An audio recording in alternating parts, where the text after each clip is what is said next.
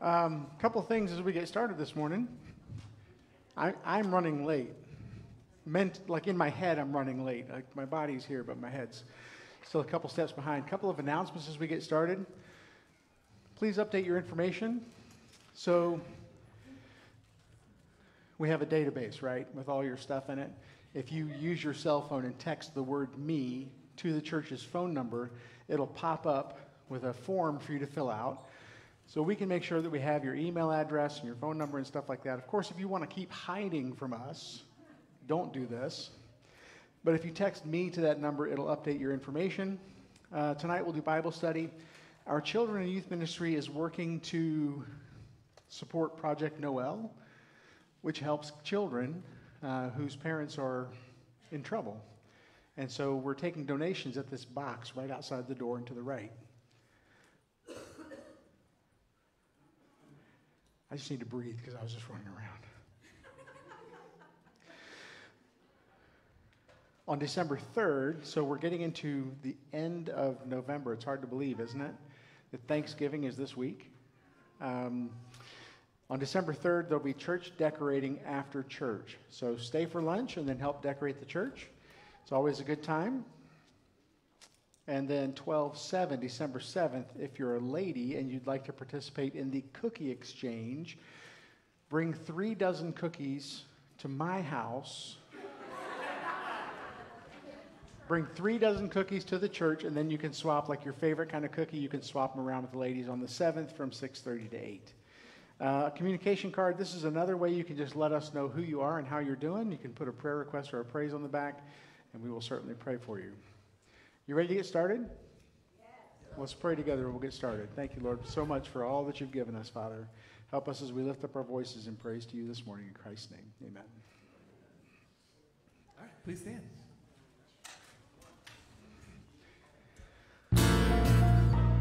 Hi. Everybody's running behind this morning. That was me.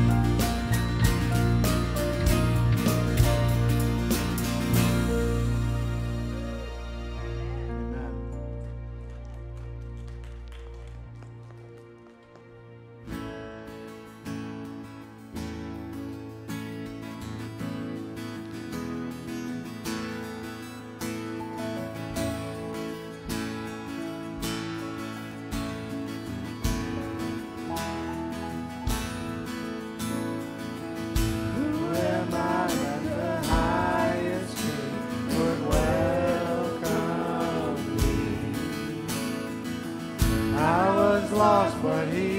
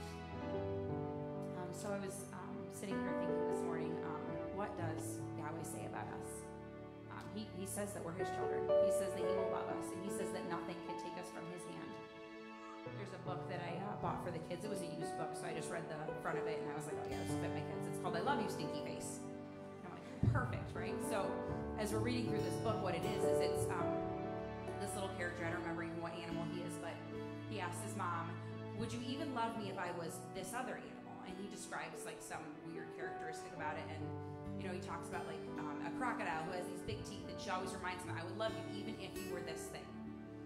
God tells us that. He will love us even if, because we were.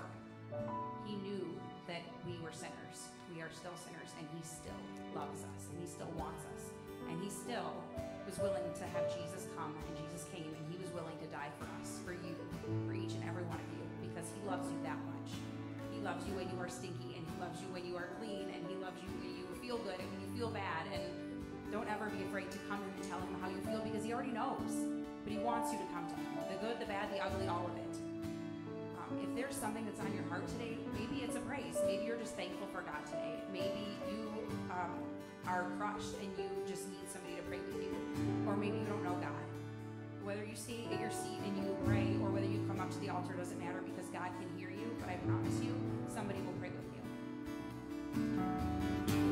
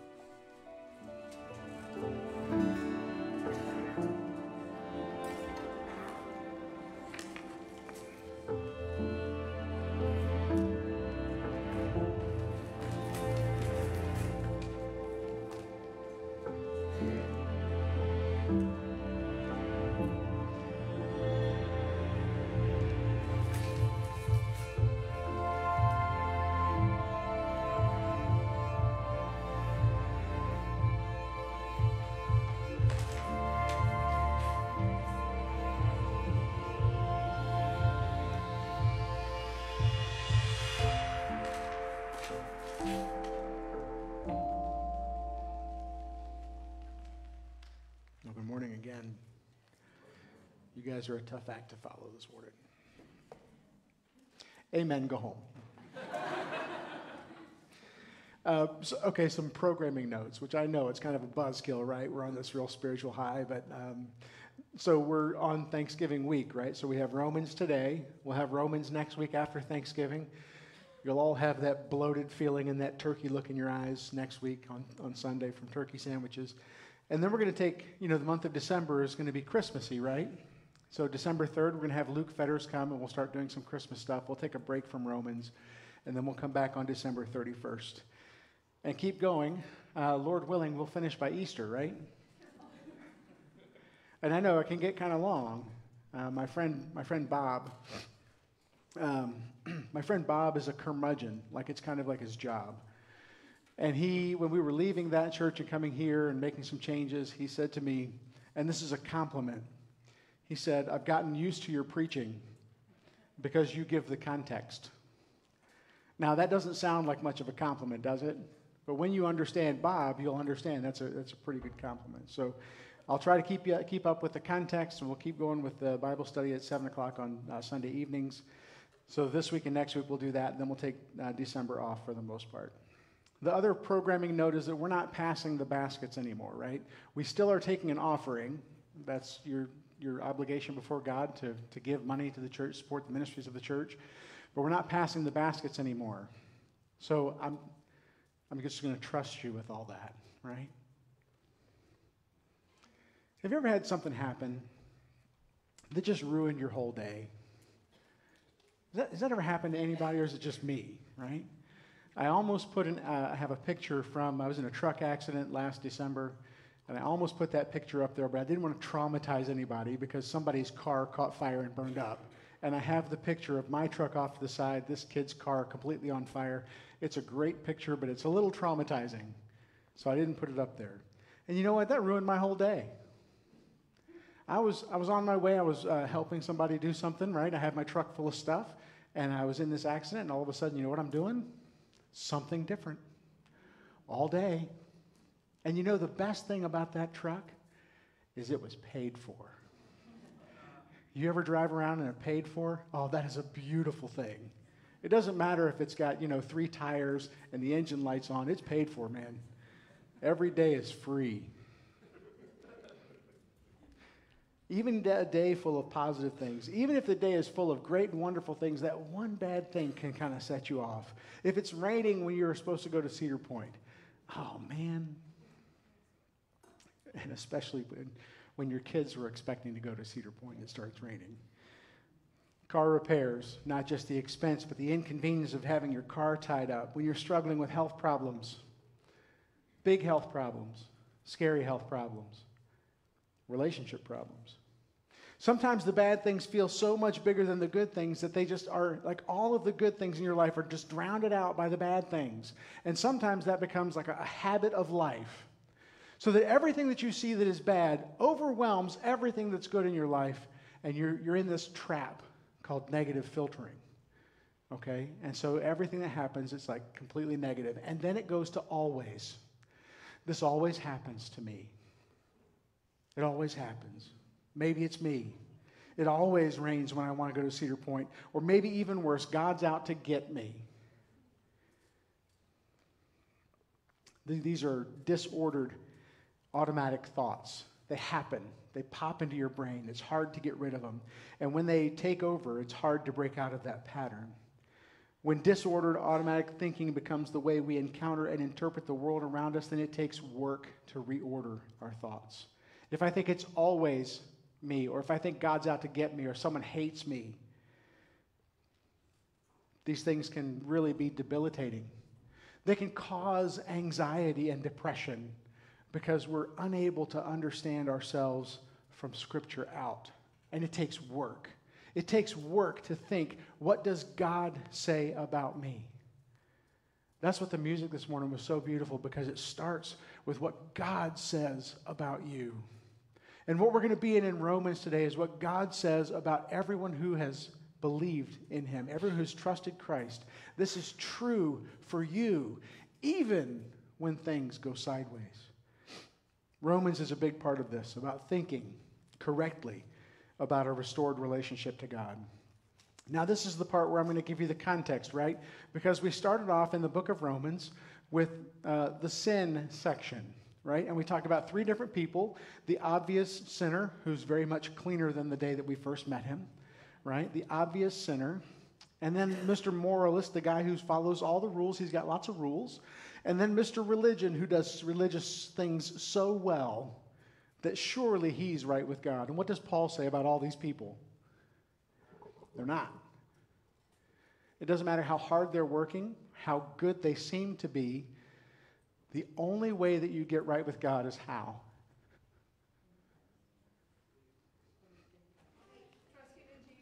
Trusting in Jesus, right? If I trust, I, I, rely on Jesus alone, I'm putting my full weight on the stool right now. We believe that. I believe that's a stool. It's not a cement truck. I believe it's a stool. I trust it. And so, what that means, when I trust in Jesus, when I put my full weight and reliance on Jesus, it doesn't matter if I'm the religious guy, he's in. He's in. Why? Not because he's religious, because he's trusting in Jesus. What about the rules guy? How does he get in the box? You got to trust in Jesus. What about the worst guy you've ever met? And then what does the Bible say about you? It says that you been, your sins have been atoned and covered over and made right, that you're declared not guilty before God. Man, that's amazing. And it's not because of the work that they did, it's because of the work that Jesus did. What about redemption, redeemed, bought out of the slave market of sin to be set free? Man, that's a beautiful thing. And these disasters, these train wrecks are there, not because of what they've done, but because of what Jesus has done. They're justified, they're declared legally righteous. And so, in this section up here, we have the, the sin section, those bad guys, the salvation section. And salvation means that you're justified. The court scene, remember? The judge declares you not guilty on the basis of what Jesus did for you. You're redeemed, purchased from the slave market. How? By trusting in Jesus' person and work, who he is, what he did for you. And you're atoned for. That religious scene where your sins are covered over. Last week we established the priority of faith. And let me just remind you, you know, you might have been like, you might have, you might be like, you know, Pastor Todd, I've heard this since I was a little kid. I've heard all this stuff about Jesus since I was a little kid. There's a world full of people who have no idea, and they're still over there. There are people in your neighborhood. There are people around you all the time.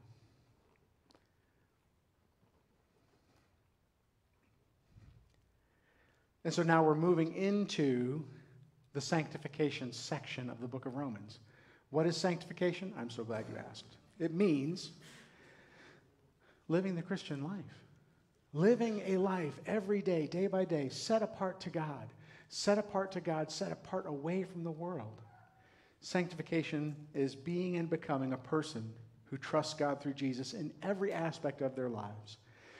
The formal definition is to be set apart set apart to God.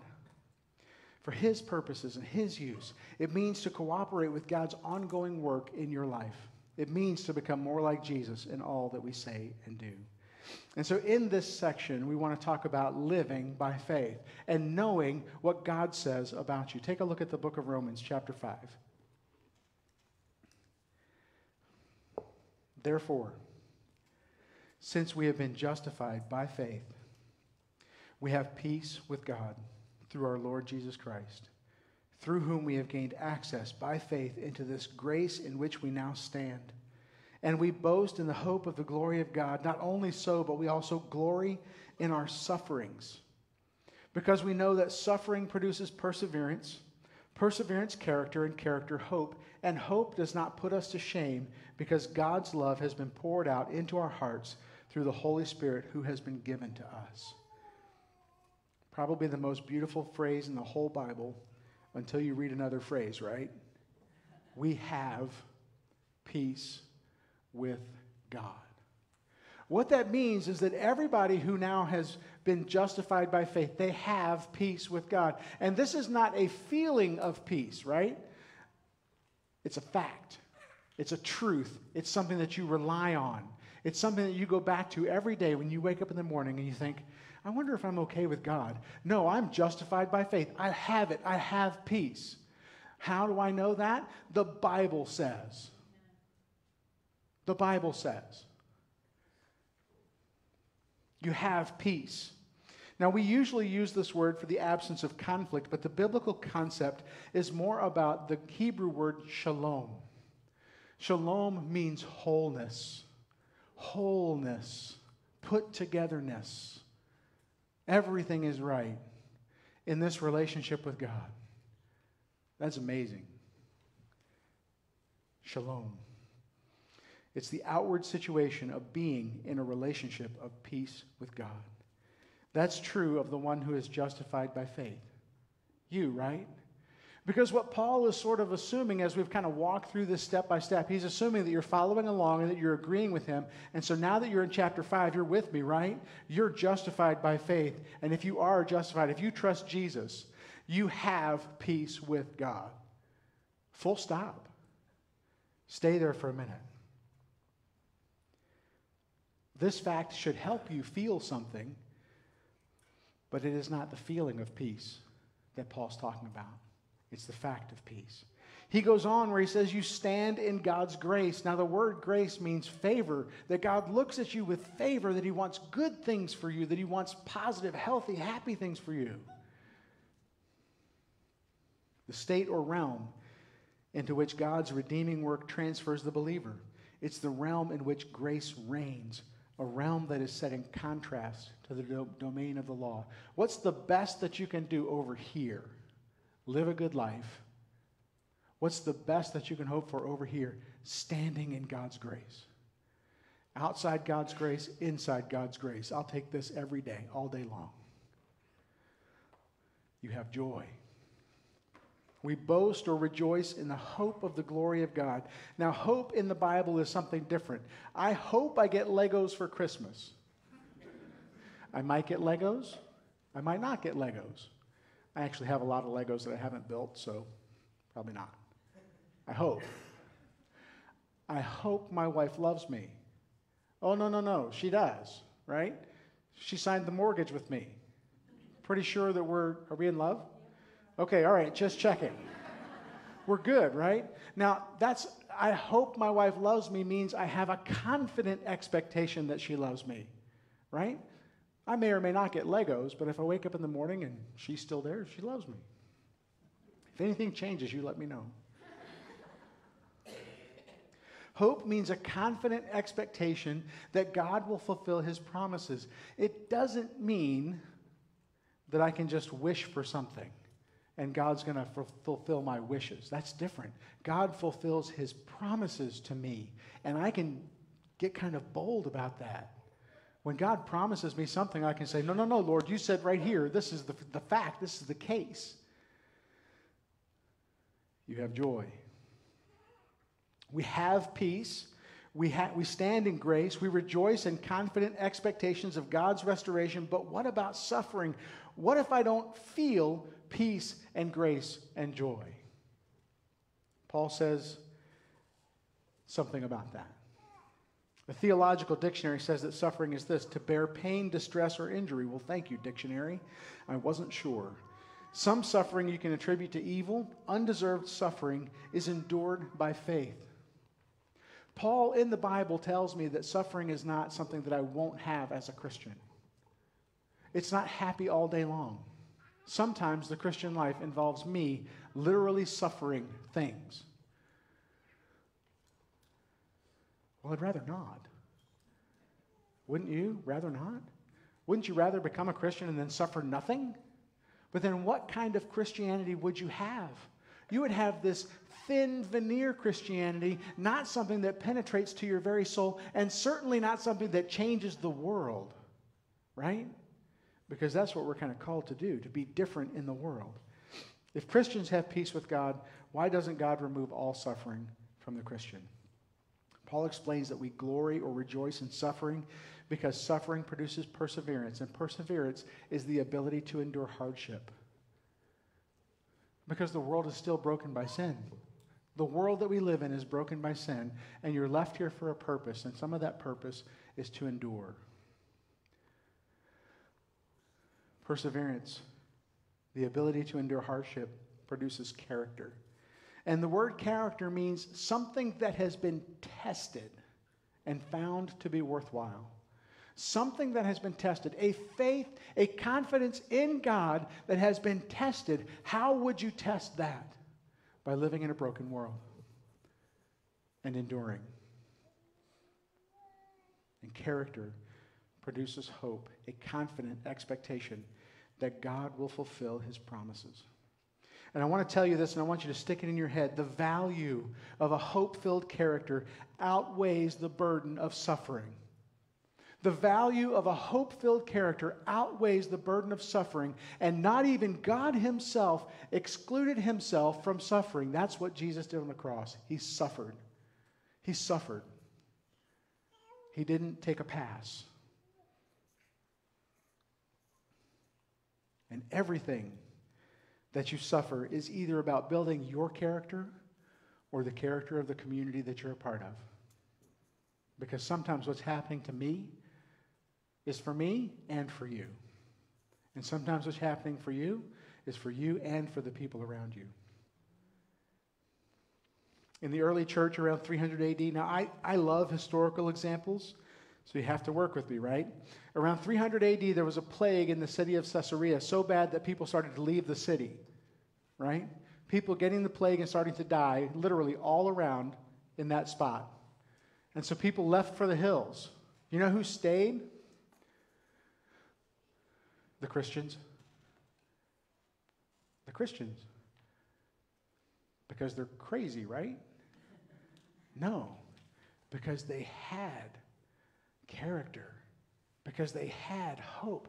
They knew that if they died helping people dying of the plague, that their eternity was set, that their life would continue on with God. And what greater evidence, what greater witness could you have than to help someone who can never do anything for you. Let me read you a quote. A church historian at the time said this All day long, some of them, the Christians, tended to the dying and to their burial, countless numbers with no one to care for them. Plague victims. Others gathered together from all parts of the city, a multitude of those withered from famine, and distributed bread to them all. That's what we're supposed to look like. As a community, as a group of people who trust the Lord, we're supposed to be the people who run in and help people who can't help themselves. What's the character of that community? Because the value of character outweighs the burden of suffering.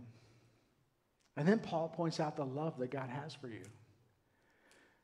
Those who are justified by faith have had God's love poured out into their hearts through the Holy Spirit. God loves you. That is such an amazing thing for me that I can stand in, in God's grace, that I can have peace, that I can just be filled with God's love. But you know, we have a very real tendency to work backwards, don't we? You see, we work backwards from the thing that happens to how God feels about me all the time. If I'm having a bad day, it must be because I didn't do my devotions this morning. You know, that's actually kind of pagan thinking.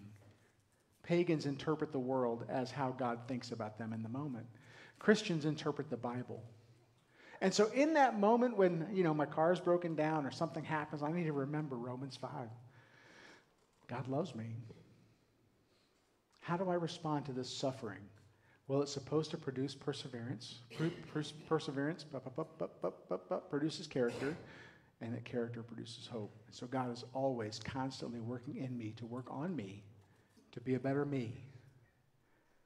We have a very real tendency to work backwards.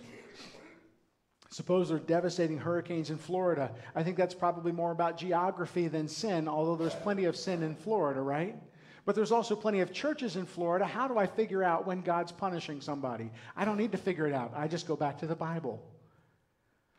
Go back to the Bible and develop your character. You have peace, you stand in grace, and we rejoice in God's glory because we are loved by God.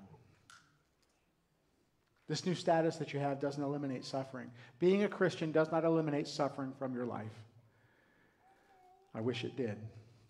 But a suffering Christian when you see somebody suffering, it's not necessarily because they're doing something wrong or because they're a bad person. If you're suffering because of bad choices, own up to your, response, your bad choices. Learn to make choices guided by Scripture. If you see someone suffering, you may have a responsibility towards that person, right? Not to come alongside and say, You have peace with God. You can smack those people. I gave you permission. You really can. What are you supposed to do when somebody's suffering? You come and help. You come and help. You come wrap your arms around. You come and you pray with them. You don't need to remind them about the Bible just yet. They'll get to it. When someone is suffering, when someone is hurting, when someone is in pain, you wrap your arms around them and you say, Hey, how can I help? If you see someone suffering, you might have a responsibility towards that person. And so Paul mentions this God, that God has poured out his love. He goes on to remind his fellow believers that God loved us even while we were sinners, because living by faith means living in light of God's incredible love for you. Look at the text. Verse 6. You see, at just the right time, when we were still powerless, Christ died for the ungodly. Very rarely will anyone die for a righteous person, though for a good person someone might possibly dare to die. But God demonstrates his own love for us in this while we were still sinners, Christ died for us. Now, there's something interesting from a, a structural, grammatical perspective that I know you appreciate, right? Paul uses the word died at the end of the sentence to emphasize it, right? That the death of Christ was not because you were so valuable. He died for the ungodly. He died for you when you were over here. He died for you before. A couple years ago, my, my good friend uh, almost died. And he's a good guy. Like, he is such a good guy. I, I'm sometimes, I wouldn't say envious, Ad, I admire. Wow. Fine. I'm envious. He's got a, he's got a great life. He's got a great family. Uh, his kids are doing great. He, uh, he teaches Bible at a Bible co- uh, university. So he's just, he's smart. He's compassionate. He's kind. He's administrative. I could go tell my friend Michael just about anything, and I know that he would still love me through it, even if I was wrong. We like to talk theology, and that's where he's wrong. And he had this, uh, he had a, an aortic dissection. So the big aorta that leads from his heart to everything else split lengthwise, and he started to bleed out internally. And when I found out about it, it was a Sunday morning. He was in the hospital. He was actually in surgery, and they said he's got a 20% chance to make it to the hospital. Now he's got a 20% chance to make it through surgery, and he's in surgery right now. And let me tell you, I had to fight to keep from jumping in my truck and heading down to help because he's that good of a friend to me. I love this guy. But I can tell you this I'm not going to die in his place. I'll carry his groceries in, I'll cut his grass for him, right? If he needs a little money, I'll see if Ruth Ann has any money.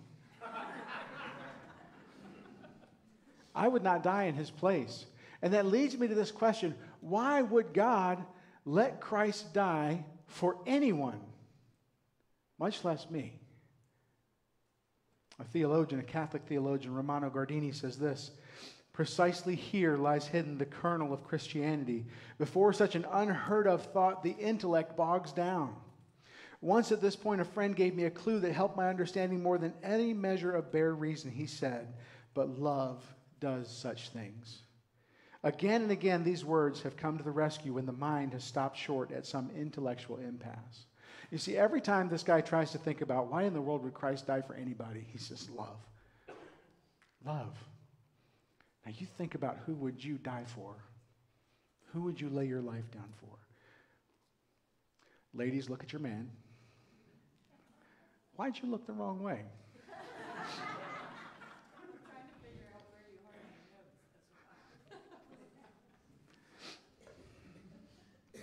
Love does such things. Look at your kids. You'd give yourself for your kids, wouldn't you? How much more does God love you? I can't imagine that God loves me more than I love my kids or my grandkids. But He does. I can't imagine that God loves my grandkids more than me. And He does. He does. How do I know? The cross. What Jesus did on the cross was because of love. Love does such things. It does things that are beyond counting. And so Jesus, death on the cross is not a measure of how much we're worth. It's a measure of how incredible God's love is for you. What do you have as a Christian? You have peace with God. You stand in His grace. Love has been poured out on you. Suffering builds character. And Jesus died to bring you into a right relationship with God. This changes how you view yourself. This changes how you value yourself. And this changes how you view and value everyone around you.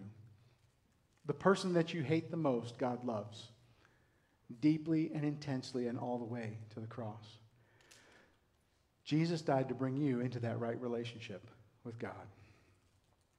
If you just read this section of Romans, if you took Romans 5 to 11, 5 1 through 11, and every morning when you got up, you read it, and then lived your day, and then every night before you lay down and go to sleep, you read it again, how would that change the way you think and view yourself and everyone around you?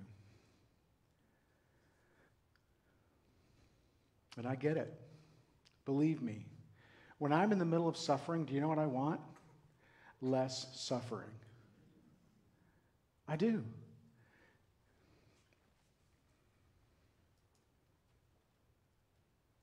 But character outweighs suffering. So we have to practice it. We have to go back to this text over and over and over again. I have to think from the Bible out. And that means this needs to become something that I'm really familiar with, something that I'm really catching, something I'm really repeating.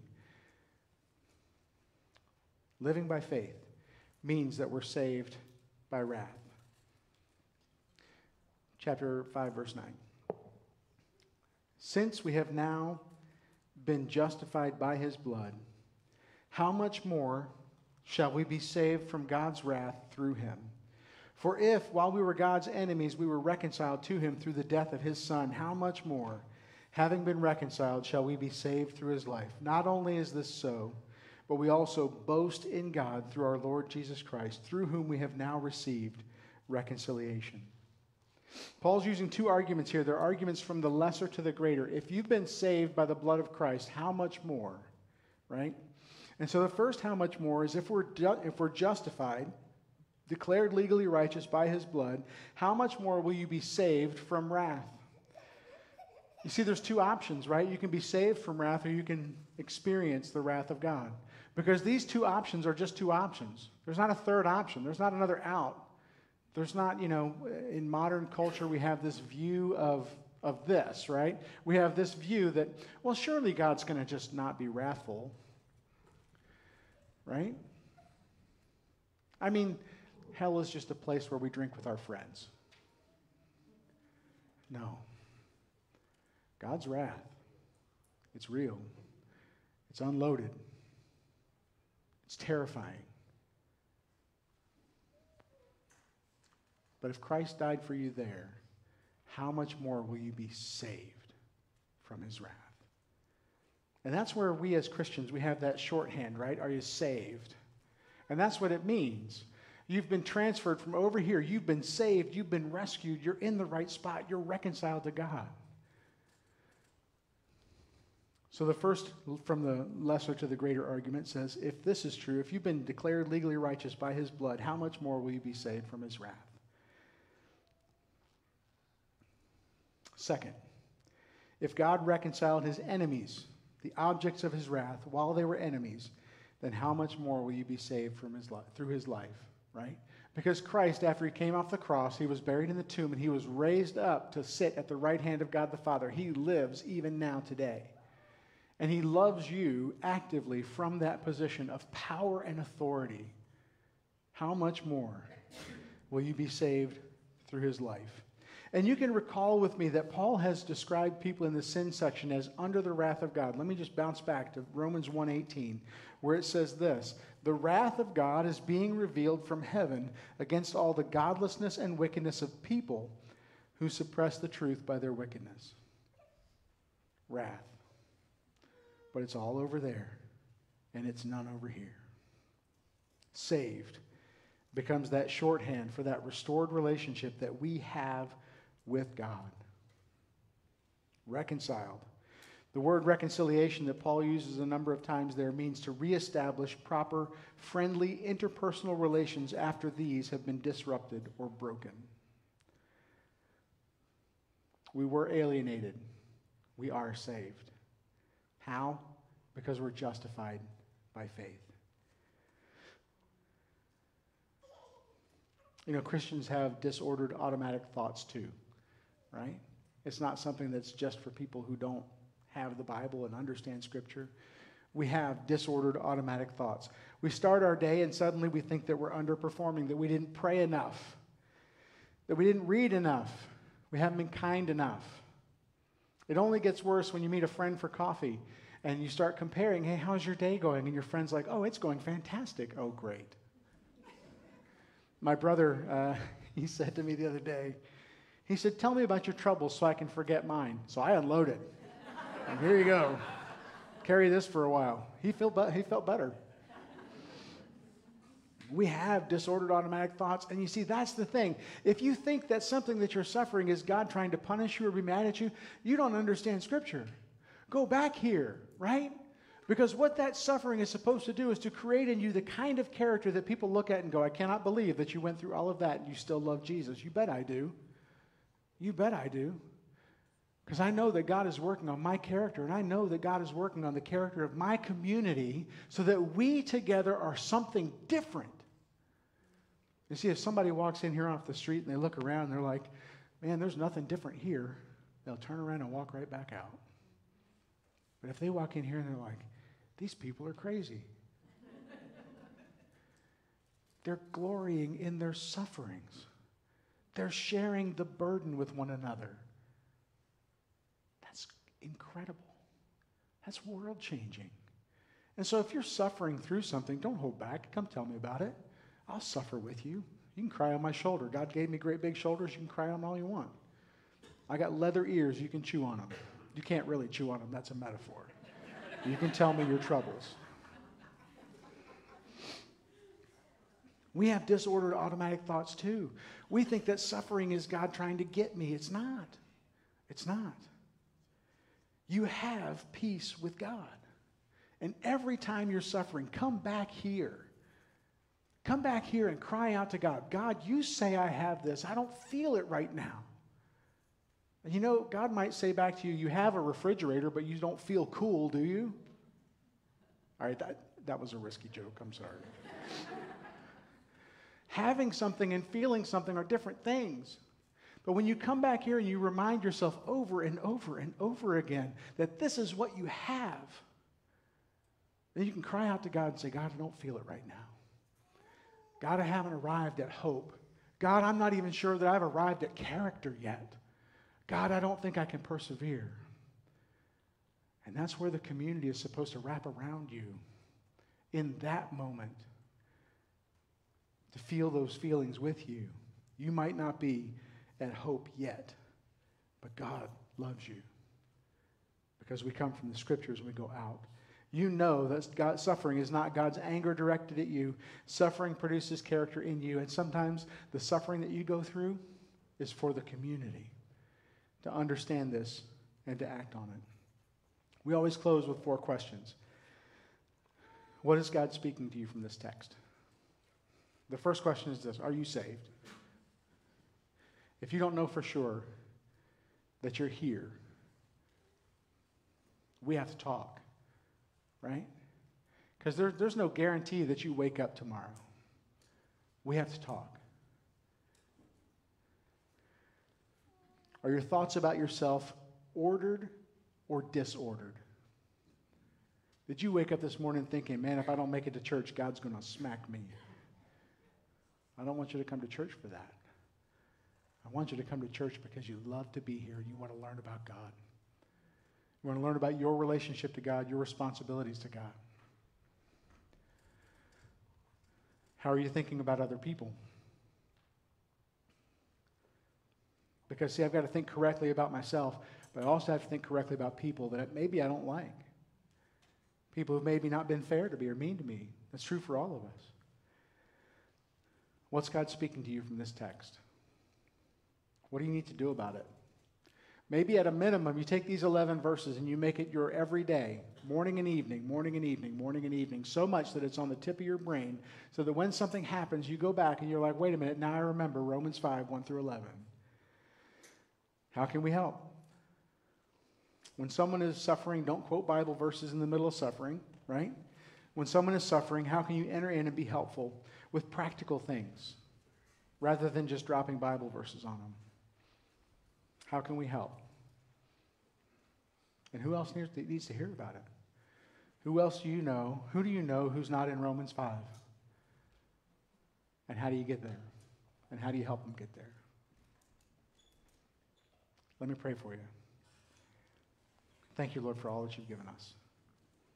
I thank you, Father, for Romans 5, for knowing that suffering doesn't mean that I'm on the outs with you, but suffering means that you're trying to build in me the character that I'm going to need to be in this world that's still broken by sin.